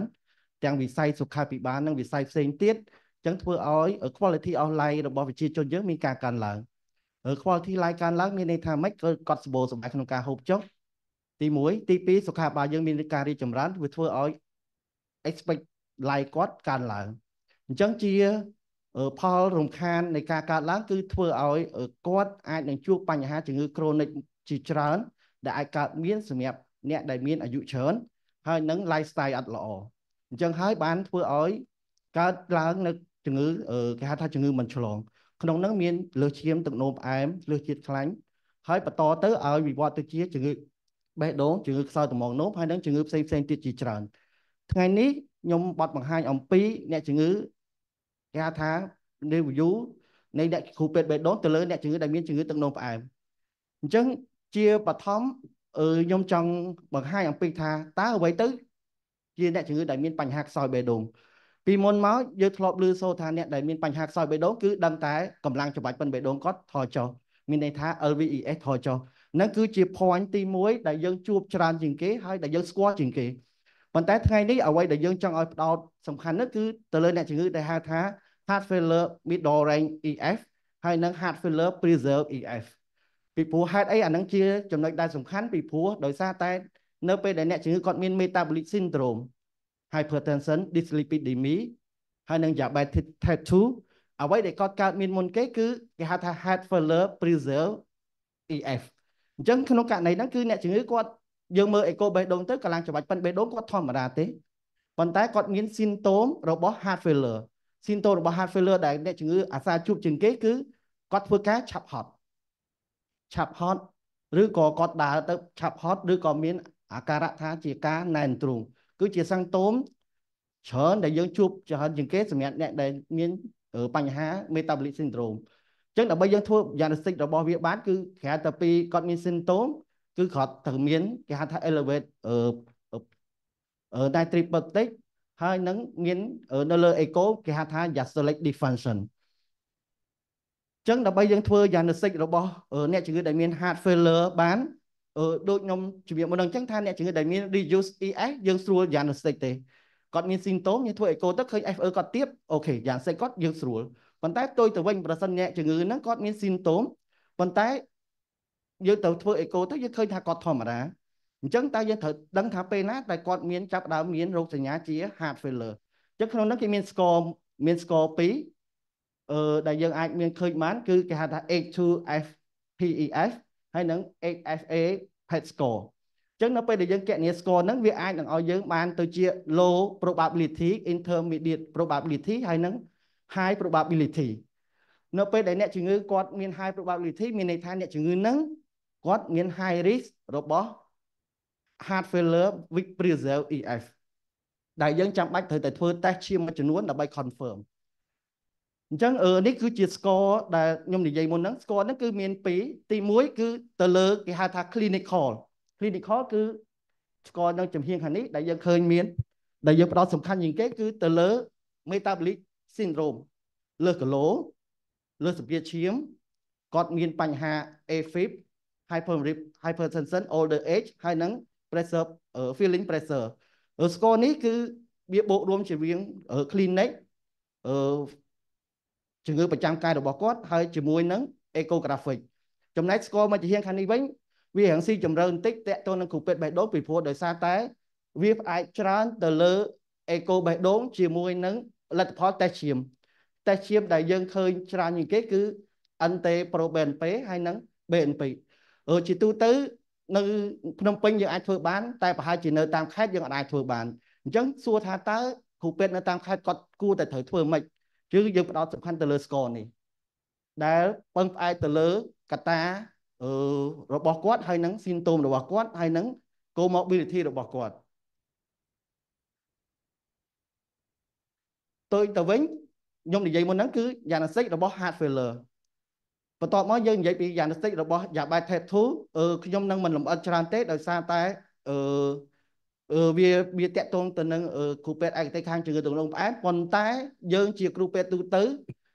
មិនថាគ្រូពេទ្យទូទៅទេគ្រូពេទ្យឯកទេសផ្សេងក៏យើងត្រូវតែដឹងដែរថាតើអ្នកជំងឺពេលណាដែលគាត់មាន pre diabetes ពេលណាដែលគាត់មានជាប្រភេទ diabetes type 2អឺខ្ញុំសូមបន្តទៅទៀតអញ្ចឹងយើងបកទៅវិញថាតើហេតុអីបានតកតទៅនឹងជំងឺបេះដូងហ្នឹងយើងត្រូវផ្ដោតសំខាន់លើទឹកនោមផ្អែមមកដល់ពេលបច្ចុប្បន្នគេរកឃើញថា ជំងឺគ្រូពេទ្យ3មុខដែលប្រៀបដូចជាបងប្អូននឹងគ្នាគឺទី1គ្រូពេទ្យបេះដូងគ្រូពេទ្យតំណងនោមហើយនិងគ្រូពេទ្យជំងឺទឹកនោមផ្អែមហើយប្រៀបដូចជាបងប្អូនគ្នាអញ្ចឹងដោយសារតែជំងឺទាំង3ហ្នឹងគឺវាឲ្យគ្នាទៅវិញទៅមកដែលយើងត្រូវតែចាំបាច់ធ្វើការ management ជា multidisciplinary ហើយក្នុងនោះដែរជំងឺទឹកនោមផ្អែមគេចាត់ទុកវាថាដូចជាបញ្ហា cardiovascular disease ចឹងសួរថាហេតុអីបានវាអញ្ចឹងដោយសារតែជំងឺទឹកនោមផ្អែមផ្ដល់ផលវិបាក cardiovascular ច្រើន ក្នុងនោះក៏ឲ្យមាន stroke ឲ្យមាន cardiovascular disease ឲ្យមាន diabetic neuropathy ឲ្យមាន diabetic retinopathy ហើយនិង diabetic nephropathy អញ្ចឹងអ្នកជំងឺដែលគាត់មានជំងឺទឹកនោមផ្អែមតាមការសិក្សាមួយនៅប្រទេសអង់គ្លេសគេរកឃើញថាអ្នកជំងឺដែលគាត់មានជំងឺទឹកនោមផ្អែម10ឆ្នាំគឺគាត់មានគាត់អាចប្រឈមមុខនឹងជំងឺបេះដូងជាពិសេសជំងឺសរសៃឈាមបេះដូង មានរហូតដល់ជាង20%ក្រៅពីហ្នឹងគាត់អាចនឹងមានជំងឺគេហៅថា macrovascular ផ្សេងទៀតរហូតដល់25%ដូច្នេះហើយបានគេចាប់អារម្មណ៍ថាតើអឺអ្នកជំងឺទឹកនោមផ្អែមហ្នឹងគឺមានការកើនឡើងជាប្រចាំឆ្នាំហើយតាមការសិក្សាដែលគេ estimate គេរកឃើញថានៅឆ្នាំ2021អ្នកជំងឺដែលកើតជំងឺទឹកនោមផ្អែមមានជាង536លានអ្នក ហើយគេនឹងរំពឹងថានៅឆ្នាំ2045ចំនួនហ្នឹងអាចនឹងកើនឡើងរហូតដល់7 700លានអ្នកហើយអ្វីដែលគេផ្ដោតសំខាន់ហ្នឹងគឺគេរកឃើញថាបើសិនជាអ្នកជំងឺទឹកនោមផ្អែមមានអាយុលើសពី65ឆ្នាំឡើងទៅ68%របស់គាត់គឺស្លាប់ដោយសារតែបញ្ហាបេះដូងហើយនិងសរសៃឈាមដូចគ្នានេះដែរគេរកឃើញថាប្រសិនជាអ្នកជំងឺដែលមានជំងឺទឹកនោមផ្អែម គេរកឃើញថាគាត់អាចប្រឈមមុខនឹងការមានជំងឺខ្សោយបេះដូងពី2ទៅ8ដងប្រសិនបើធៀបជាមួយនឹងអ្នកជំងឺដែលគាត់អត់មានបញ្ហាជំងឺទឹកនោមផ្អែមហើយគេរកឃើញថានៅពេលដែលអ្នកជំងឺអាយុកាន់តែច្រើនគាត់ប្រឈមមុខនឹងកើតជំងឺខ្សោយបេះដូងហ្នឹងក៏កាន់តែច្រើនដូចគ្នានេះដែរតាមការសិក្សាគេរកឃើញថាប្រសិនបើអ្នកជំងឺគាត់មានជំងឺទឹកនោមផ្អែមហើយគាត់មានខ្សោយបេះដូង heart failure គេរកឃើញថាអ្នកជំងឺហ្នឹងគាត់នឹងប្រឈមមុខនឹងការកើនគេហៅថាអត្រាមរណភាពខ្ពស់បើធៀបជាមួយនឹងអ្នកជំងឺដែលអត់មានបញ្ហាទឹកនោមផ្អែមអញ្ចឹងយើងក្នុង graphic នេះយើងគេបង្ហាញអញ្ចឹងបើសិនជាអ្នកជំងឺគាត់មានជំងឺទឹកនោមផ្អែមហើយអត់មានបញ្ហាបេះដូងទេអត្រាការស្លាប់របស់គាត់មានតែ3.7%ទេប៉ុន្តែផ្ទុយទៅវិញប្រសិនបើគាត់មានជំងឺទឹកនោមផ្អែមហើយមានបញ្ហាបេះដូងការអត្រានៃការកើនឡើងនៃមរណភាពឡើងរហូតដល់32ក្នុងអ្នកជំងឺ100អ្នកក្នុងរយៈពេល1ឆ្នាំ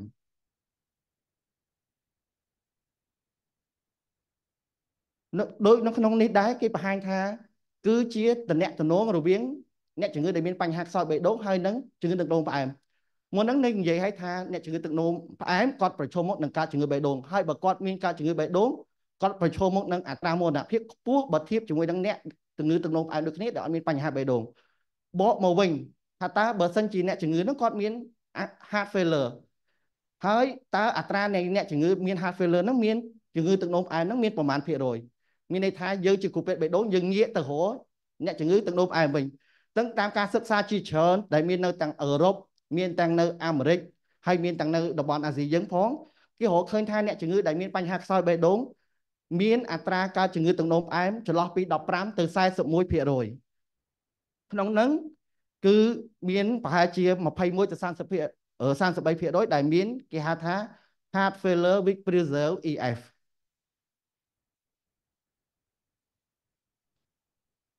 អញ្ចឹងដូចគ្នានេះដែរដូចដែលការសិក្សាបង្ហាញមុននឹងអញ្ចឹងថាបើសិនជាអ្នកជំងឺដែលគាត់មាន heart failure ហើយគាត់មានជំងឺទឹកនោមផ្អែមគេរកឃើញថាអ្នកជំងឺប្រភេទក្រុមនេះប្រឈមមុខនឹងគេហៅថា all cause mortality and cardiovascular mortality គឺខ្ពស់ជាងអ្នកក្រុមអ្នកដែលមានជំងឺបញ្ហាខ្សោយបេះដូងដែលអត់មានជំងឺទឹកនោមផ្អែមហើយក្នុងនេះដែរគេបង្ហាញថា ប្រសិនបើអ្នកជំងឺដែលមានគាត់មានបញ្ហាខ្សោយបេះដូងហើយគាត់មានជំងឺទឹកនោមផ្អែមគេរកឃើញថាគាត់អាចប្រឈមមុខនឹងការ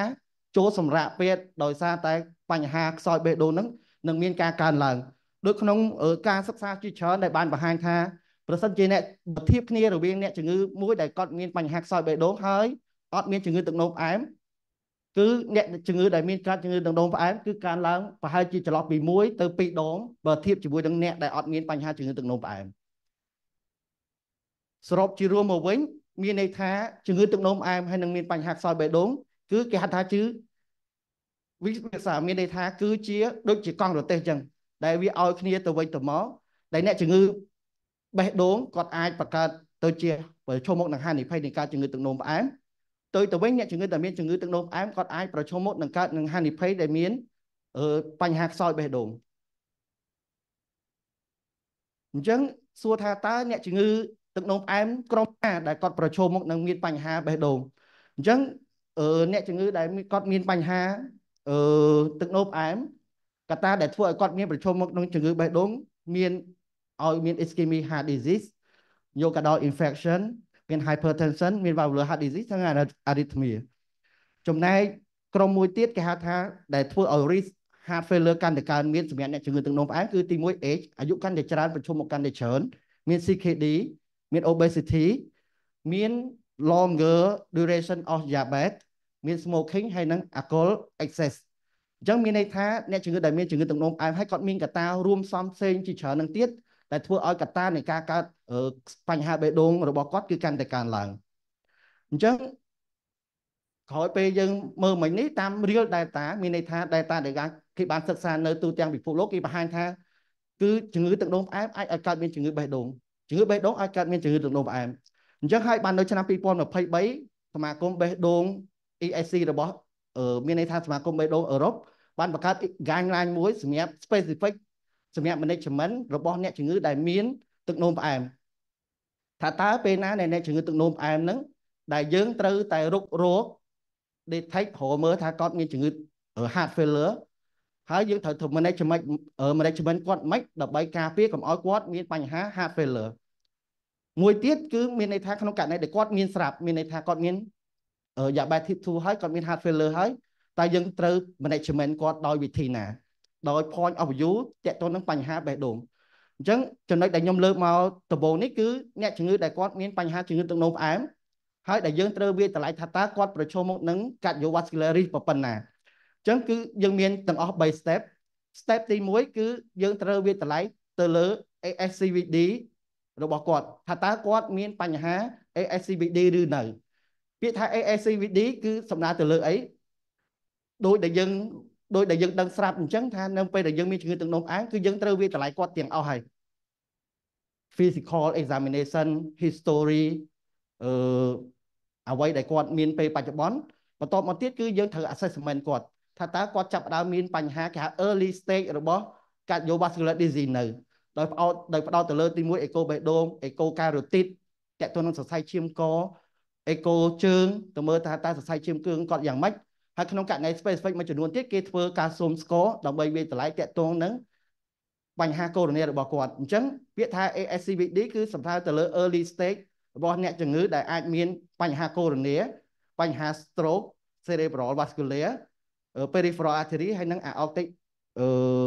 atherosclerosis ចឹងមានន័យថានៅពេលដែលយើងធ្វើទៅអាចនឹងអ្នកមួយចំនួនគាត់មានផ្លាកការ៉ូទីតអាចមានការសូមស្ករខ្ពស់ឬក៏អាចមានផ្លាកនៅលើអតិ peripheral ដូចជានៅជើងរបស់គាត់ប្រសិនជាគាត់អត់មានទាំងអស់នឹងទេមានន័យថាគាត់អត់ទាន់មាន ASCVD ទេចំណុចទី2ដែលយើងត្រូវវាតម្លៃគឺគេហៅថា target organ damage តើគាត់ចាប់ដើមមាន target organ damage ឬក៏ TOD ឬនៅអឺពាក្យថា TOD គឺផ្ដោតសំខាន់ទៅលើ nephro អញ្ចឹងគឺគេមាន criteria ទាំងអស់4ឲ្យតែគាត់មាន4ក្នុងមានមួយក្នុងចំណោម4ហ្នឹងគេចាត់ទុកថាគាត់មាន POD អញ្ចឹងមានចំណុចទី1គឺគេហៅ clear រងគាត់ទូចជាង45ឬក៏ថានៃទី2មានន័យថា clear រងគាត់ល្អប៉ុន្តែគាត់មាន micro albuminuria ឬក៏មាន proteinuria ឬក៏មាន microvascular disease អញ្ចឹងមានន័យថាម៉េចអ្នកជំងឺដែលមានជំងឺទឹកនោមផ្អែមគឺយើងត្រូវតែធ្វើបកទៅវិញមានន័យថាយើងត្រូវតែធ្វើ belong depistar ordinary ដើម្បីរកមើលថាតើគាត់មាន protein នៅរីឬក៏នៅ ដើម្បីបង្ហាញអំពី TOD ទី1ទី2គឺអ្នកជំងឺចាំបាច់ត្រូវតែធ្វើគេហៅថា examen retin ដែលតាម guideline គេបង្ហាញថាអ្នកជំងឺទឹកនោមផ្អែមត្រូវតែធ្វើរៀងរាល់2ឆ្នាំម្ដងដើម្បីអីដើម្បីរកមើលថាតើគាត់មាន TOD ឬក៏នៅអញ្ចឹងក្រោយពេលយើងឆ្លងដំណាក់កាលទី1ទី2ប្រសិនបើគាត់អត់មានទី1អត់មានទី2ទេគឺយើងត្រូវដល់ដំណាក់កាលទី3មានន័យថាគាត់អត់ទាន់មានអ្វីទាំងអស់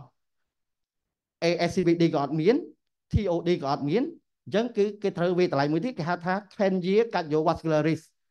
ក្នុងហ្នឹងគឺគេមាន score មួយដែលគេទៅតែបង្កើតថ្មីគេហៅ score 2 Yabet ដែលទៅតែបង្កើតនៅឆ្នាំ2023នេះអញ្ចឹងនៅពេលដែលយើងវាតម្លៃទាំង3នេះយើងនឹងបានចាត់ចំណាត់ថ្នាក់របស់អ្នកជំងឺទឹកនោមផ្អែមទៅជា4ក្រុមធំធំទី1គឺហៅថា very high risk ទី2 high risk ទី3 moderate risk ហើយនិង low risk high risk គឺនៅ very high risk គឺនៅពេលណា ទី1អ្នកជំងឺគាត់មាន ASCVD ទី2គាត់មាន severe TOD ឬក៏ក្នុងករណីអ្នកជំងឺគាត់មានគេហៅថា10 year risk លើសពី20%ដែលប្រើ score 2 diabetes high risk គឺអ្នកជំងឺដែលអត់មាន ASCVD ទេក៏អត់មាន TOD ដែរប៉ុន្តែអ្នកជំងឺនេះគាត់មានគេហៅថា10 year risk ពីចន្លោះពី10ទៅ20%ចំណែកអ្នកដែល moderate risk មានន័យថា score របស់គាត់ចន្លោះពី5ទៅ10ហើយអ្នកដែល low risk គឺមានន័យថា score គាត់ទូជាង5 សួរថាហេតុអីបានយើងត្រូវបែងអឺនេះគឺជារូបភាព ដែលបង្ហាញអំពីតកតងនឹងគេហៅថា cardiovascular assessment ទៅលើអ្នកជំងឺទំមានជំងឺទឹកនោមផ្អែមអញ្ចឹងដូចដែលខ្ញុំរៀបរាប់មុនហ្នឹងអញ្ចឹងអ្វីដែលសំខាន់ជាងគេគឺយើងកណនីទី1 ASCVD ជាមួយនឹង TOD បើគាត់មានមានហើយគឺគេចាត់ទុកនៅក្នុង high very high risk ហើយទោះទៅវិញបើគាត់អត់មានទេទៅគឺគណនា score 2 diabetes ដែលក្នុងហ្នឹង score 2យើងអាចនឹងវាយតម្លៃដោយបានចេញជា algorithm ដូចគ្នានឹងអញ្ចឹងនៅពេលដែល score 2ហ្នឹងគេគណនាដោយវិធីណាអឺដោយសារតែយើងរហងៃនេះយើងមាន iPhone នៅក្នុងដៃអញ្ចឹងវាស្រួលទេនៅពេលដែលយើងចង់គណនា score score 2 diabetes យើងអាចចូលទៅក្នុង Google យើងចុចទៅវានឹងលោតចេញមកនៅពេលដែលវាលោតចេញមកយើងនឹងឃើញតារាងវាគឺនៅអឺរ៉ុបដោយសារតែវាផ្ដោតទៅលើគេហៅ geographic អញ្ចឹងយើងនឹងឆ្ងល់ថាតើ score ហ្នឹងអាចប្រើនៅអាស៊ីយើងបានអត់អញ្ចឹងអញ្ចឹងខ្ញុំលើក study មួយដែលចង់បង្ហាញថាតើ score ហ្នឹងវាអាច valid នៅលើតំបន់អាស៊ី Pacific អត់មកដល់ពេលបច្ចុប្បន្ន score 2គឺមាន score 2 score 2 diabetes score 2 elderly មានន័យថា score 2សម្រាប់អ្នកធម្មតា score 2សម្រាប់អ្នកជំងឺជំងឺទឹកនោមផ្អែមហើយនិង score 2សម្រាប់អ្នកដែលមានអាយុច្រើនក្នុងនោះកាលពីឆ្នាំនៅ EAC 2024នេះ គេបានធ្វើការសិក្សា score 2នៅក្នុងតំបន់អាស៊ីប៉ាស៊ីហ្វិករបស់យើងដោយបីគេវាតម្លៃថាតើអា score 2ដែលគេធ្វើនៅអឺរ៉ុបហ្នឹងតើអាចវា valid នៅអាស៊ីប៉ាស៊ីហ្វិកយើងបានឬក៏អត់ហើយតាមការសិក្សាដែលគេទើបតែ public នៅឆ្នាំ2024នេះដោយសមាគមគ្រូពេទ្យបេះដូងអាស៊ីប៉ាស៊ីហ្វិកគេរកឃើញថា score 2អាស៊ីប៉ាស៊ីហ្វិកបើធៀបជាមួយនឹង score 2របស់អឺរ៉ុបគឺវាអត់មានភាពខុសគ្នាទេ មកដល់ពេលបច្ចុប្បន្ន score 2 Yabet tip 2អាស៊ីប៉ាស៊ីហ្វិកយើងអត់ទាន់មានការសិក្សាទេប៉ុន្តែ base ទៅលើ score 2នេះយើងអាចសន្មត់បានថា score 2 Yabet tip 2យើងអាចយកមកប្រើការបានសម្រាប់អ្នកជំងឺដែលមានជំងឺទឹកនោមផ្អែមហើយដើម្បីយើងវាយតម្លៃទៅលើបញ្ហា cardiovascular risk របស់គាត់អញ្ចឹងនៅពេលដែលយើងគាត់មានជំងឺទឹកនោមផ្អែមនៅពេលដែលយើង assessment cardiovascular risk របស់គាត់ហើយតើយើងត្រូវធ្វើម៉េច ក្នុងនាមជាគ្រូពេទ្យដើម្បីកាត់បន្ថយហានិភ័យគ្រោះថ្នាក់បេះដូងហើយនិងសរសៃឈាមរបស់គាត់អញ្ចឹងទាំងអស់គឺយើងមាន4 step សំខាន់សំខាន់ដោយដែលបងស៊ីឡុងគាត់មានប្រសាសន៍មុនហ្នឹងអញ្ចឹងគឺអ្វីដែលសំខាន់ជាងគេគឺទី1គឺ lifestyle intervention តកតទៅនឹងចំណីអាហារការហាត់ប្រាណទី2គឺ glycemic control ហើយនិង target ទី3គ្រប់គ្រងសម្ពាធឈាមគាត់ឲ្យបានល្អទី4គ្រប់គ្រងជាតិជាតិខ្លាញ់គាត់ឲ្យបានល្អ អញ្ចឹងយើងបកមកវិញថាយើងនិយាយមុនហ្នឹងថាយើងខំកណនីស្គរហ្នឹងតើស្គរហ្នឹងវាវាប្រយោជន៍អីសម្រាប់យើងគឺស្គរហ្នឹងវាសំខាន់សម្រាប់យើងក្នុងការជ្រើសរើស molecule គេហៅថា glucose lowering មានន័យថាក្រុមអង់ទីយ៉ាបែតិកអូរ៉ូដើម្បីយើងជ្រើសរើសឲ្យសមទៅនឹងស្ថានភាពអ្នកជំងឺទឹកនោមផ្អែមហើយដែលមានកត្តាប្រឈមមុខនឹងជំងឺបេះដូងអញ្ចឹងដោយដែលយើងដឹងពីមុនអញ្ចឹងថាបើនឹងយើងទៅមើលលេខទៀតចាស់ចាស់ គឺយើងឃើញថាអត់តែមានអ្នកជំងឺទឹកនោមផ្អែម metformin គឺជា first choice ជា first first line ប៉ុន្តែនៅពេលដែលពេលបច្ចុប្បន្ននេះវិញគឺការដែលយើងជ្រើសរើសមានន័យថាអ្នកជំងឺទឹកនោមផ្អែមយើងជ្រើសរើសក្រុមថ្នាំដើម្បីការពារកុំឲ្យគាត់មានបញ្ហាបេះដូងនៅពេលដែលគាត់មិនទាន់មានអញ្ចឹងដូចក្នុងក្រុមនេះយើងឃើញអញ្ចឹងយើងកណនីស្គាល់មុនហ្នឹងគឺយើងមាន low មាន in moderate មាន high មាន very high អញ្ចឹងបើសិនជាអ្នកជំងឺដែលគាត់មាន very high SGLT2 អឺគឺជា first choice ហើយជា class 1ទៅទៅវិញប្រសិនបើគាត់នៅក្នុង high risk អូខេយើងអាចជ្រើសរើស metformin SGLT2 ហើយបើសិនជាអ្នកដែលគាត់ low ទៅ metformin ទៅទៅជាជំរើសទី1អញ្ចឹងអ្វីអ្វីវាចាប់ផ្ដើមប្រែប្រួលនៅពេលដែលយើងវាយតម្លៃទៅលើ cardiovascular risk របស់គាត់ដូចគ្នានេះដែរអឺនេះខ្ញុំរៀងស៊ីជម្រៅបន្តិច អឺនៅពេលដែលអ្នកជំងឺគាត់មានជំងឺទឹកនោមផ្អែមហើយក៏អត់ទាន់មានបញ្ហាបេះដូងទេខ្ញុំចាប់ម្ដងទៀតក៏អត់ទាន់មានបញ្ហាបេះដូងទេអញ្ចឹងតើយើងត្រូវធ្វើម៉េចជ្រើសរើសក្រុមថ្នាំជាតិខ្លាញ់អឺជាតិស្ករម៉េចដើម្បីការពារកុំឲ្យគាត់មានបញ្ហាបេះដូងអញ្ចឹងដូចដែលក្នុង graphic នេះយើងអញ្ចឹងគឺ GLP-1 ហើយនិង GLT2 inhibitor គឺជា class 1ក្នុងករណីដែលអ្នកជំងឺហ្នឹងយើងរកឃើញថាគាត់មានជាតិស្ករគាត់ខ្ពស់ ដែលយើងត្រូវ combination អញ្ចឹងយើងអាចជ្រើសរើសក្រុមផ្សេងទៀតដើម្បីមានន័យថាដែលគេ suggest suggest ដើម្បីធ្វើម៉េចកុំឲ្យគេហៅ demand ឬក៏កុំឲ្យប៉ះពាល់ទៅលើនឹងបញ្ហាបេះដូងក្នុងនោះមាន DD-B4 មានសូមានពួក sulfonylurea មាន alkaline ដែលយើងអាចមើលឃើញនៅក្នុងតារាងនេះអញ្ចឹងយើងអាចមើលឃើញនៅក្នុងហ្នឹងហើយឥឡូវនេះគឺ SGLT2 ឡើងទៅដំណាក់ថ្នាក់លេខ1 បើសិនជាយើងត្រូវ add on ទៅគេ add on metformin ឬក៏ add on DB DDB4 inhibitor ទៅតាមស្ថានភាពរបស់អ្នកជំងឺទឹកនោមផ្អែមរបស់យើងអញ្ចឹងអឺនេះខ្ញុំនិយាយអំពីគេហៅថា benefit របស់ empagliflozin ទៅលើអ្នកជំងឺដែលមានជំងឺទឹកនោមផ្អែមហើយនឹង cardiovascular disease តាមការសិក្សាទៅលើអ្នកជំងឺជាង7000នាក់គេរកឃើញថាបើសិនជាអ្នកជំងឺហ្នឹងគាត់ប្រើ empagliflozin ឃើញថាគាត់បន្ថយមានន័យថា benefit របស់គាត់ទី1បន្ថយម៉េះរហូតដល់14%បន្ថយ cardiovascular death រហូតដល់38%បន្ថយ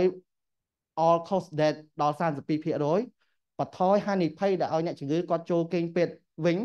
រហូតដល់35%ហើយកាត់បន្ថយហានិភ័យដែលធ្វើឲ្យគាត់មានបញ្ហាទំងនោមដល់39%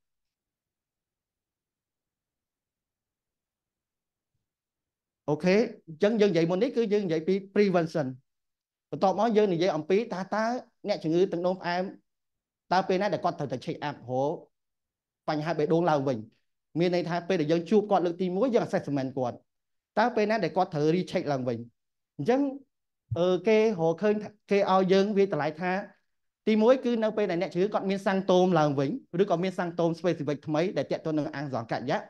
ឬក៏បើសិនជាយើង check ទៅឃើញថាធម្មតាទើបគេឲ្យយើង check annually មានន័យថារៀងរាល់មួយឆ្នាំឬក៏2ឆ្នាំប៉ុន្តែជាទូទៅគេ recommend ឲ្យយើងរៀងរាល់ឆ្នាំយើងត្រូវតែ check ដើម្បី evaluate ឡើងវិញថាតើគាត់មានបញ្ហាអឺខ្សោយបេះដូងឬក៏នៅអញ្ចឹងទី1ក្នុងករណីដែលគេវាតម្លៃទៅបើយើងសង្ស័យខ្ញុំនិយាយសាមញ្ញបើយើងសង្ស័យទើបយើងចាប់ដើមទៅធ្វើអីបន្តអេកូបេះដូងមកប្រូ BNP ហើយបើសិនជាវា positive យើងនឹងចាប់ដើមព្យាបាលទៅលើអ្នកជំងឺដែលមានបញ្ហាខ្សោយបេះដូងទៅទៅវិញបើគាត់អត់មានអត់មានរោគសញ្ញាទេនឹងយើងនឹងមិនធ្វើអីទេមួយឆ្នាំក្រោយទើបយើង check up យើងសួរនាំគាត់អីឡើងវិញម្ដងទៀតបន្តមកទៀតយើងនិយាយថាអ្នកជំងឺយើងនិយាយមុនហ្នឹងយើង prevent យើងធ្វើយ៉ាងស្ដេចចុះប្រសិនបើគាត់មានតើយើងត្រូវធ្វើម៉េចអញ្ចឹងក្នុង slide នេះក្នុងរូបនេះវាបង្ហាញអំពីថាអ្នកជំងឺទឹកនោមផ្អែមមួយហើយគាត់ចាប់ដើមមាន heart failure អញ្ចឹងតើតើ RDO យើងយើងត្រូវ change អត់ខ្ញុំ point of view របស់ទៅលើ RDO ទៅលើគ្រូពេទ្យបេះដូងអញ្ចឹងដោយដែលយើងដឹងស្រាប់អញ្ចឹងនៅពេលដែលអ្នកជំងឺគាត់យ៉ាបែតេធូហើយគាត់មានជំងឺទឹកនោមផ្អែមដើម្បីកាត់បន្ថយហានិភ័យអត្រាមរណភាពរបស់គាត់ជា SGLT2 inhibitor គឺនៅតែជា class អងអញ្ចឹងបន្ទាប់មកទើបយើងវាតម្លៃថាតើប្រសិនជាគាត់មានន័យថាគាត់ត្រូវការថ្នាំទឹកនោមផ្អែមបន្ថែម ទើបយើងអាចជ្រើសរើសក្រុមទាំង4នេះមាន GLP-1 មាន sitagliptin, linagliptin, metformin ឬក៏ insulin ដែលយើងអាចជ្រើសរើសទៅតាមស្ថានភាពជាក់ស្ដែងរបស់អ្នកជំងឺយើងបាន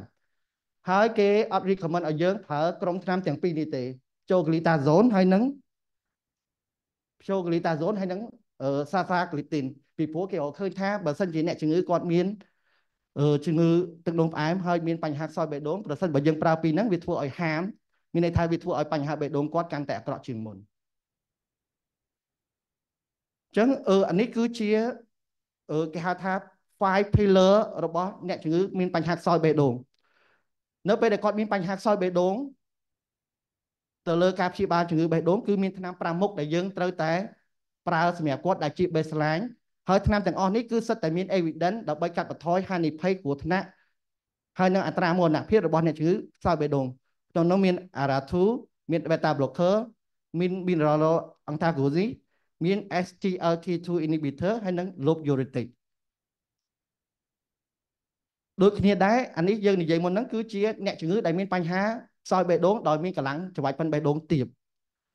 ទៅទៅវិញប្រសិនបើអ្នកជំងឺដែលគាត់មានបញ្ហាខ្សោយបេះដូងប៉ុន្តែកម្លាំងច្រវាច់ប៉ិនបេះដូងគាត់នៅ middle range គឺជា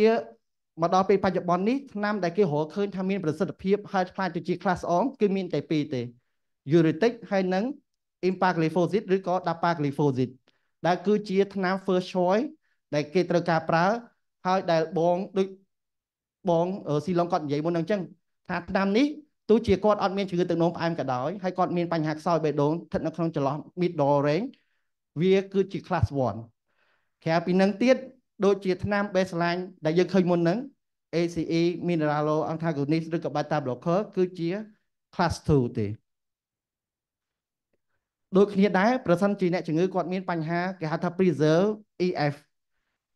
ថ្នាំមានតែពីរមុខទេដែលពេលបច្ចុប្បន្នគេហៅថាគេ improve ថាវាល្អ នៅហ្នឹងគឺ uretic ជាមួយនឹង dapa ឬក៏ empagliflozin ហើយក្រៅពីហ្នឹងគឺគេគេហៅថាព្យាបាល comorbidity របស់គាត់ដូចខ្ញុំ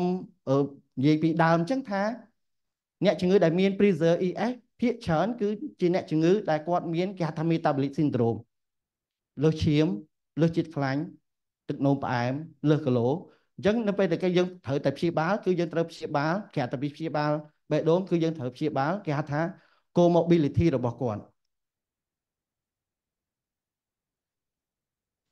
slide នេះដែរខ្ញុំចង់បង្ហាញអំពីថាតើពេលណាដែលយើងគួរតែចាប់ដើមពួក SGLT2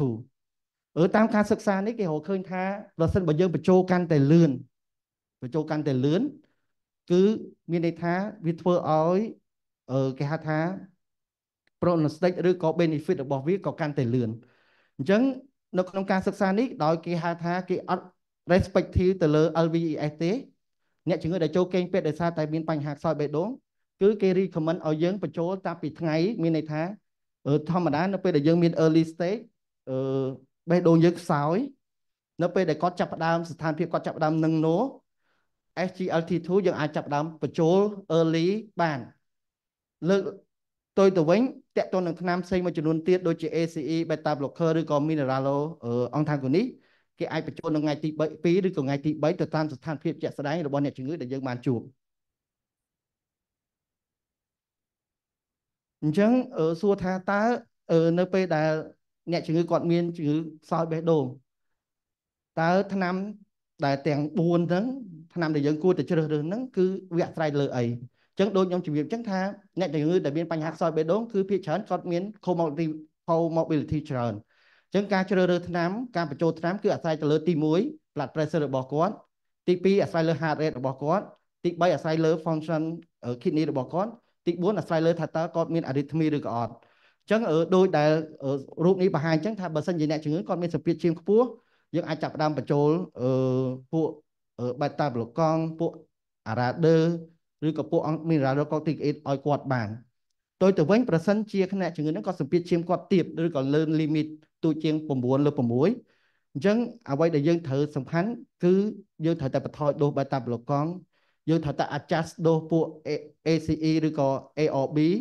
ព្រោះព្រោះថាប្រសិនបើសម្ពាធឈាមគាត់នៅតែទាបអញ្ចឹងវាអាចប្រឈមមុខនឹងហានិភ័យសម្រាប់គាត់ឬក៏ធ្វើឲ្យ quality of life របស់គាត់នឹងអត់ល្អអឺដូចគ្នាដែរនៅពេលដែលយើង